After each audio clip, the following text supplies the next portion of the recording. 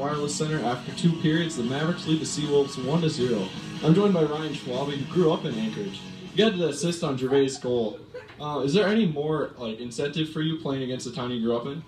Uh, no, I think more than anything, it's just special for me. You know, growing up watching them play. Uh, my parents had season tickets growing up, actually, so um, you know, just one that I was really looking forward to. And then able uh, to get that first goal tonight. How important is it to get the first goal when you're playing a team as good as they are? Yeah, you know, uh, I think in the past, you know, we haven't been able to do that here, and we wanted to do that tonight, and uh, luckily we were went out there and did that that period. All right, thank you for your time. Thank you. Coming up after the break, this senior for the Mavericks didn't grow up here. He grew up in Riga, Latvia.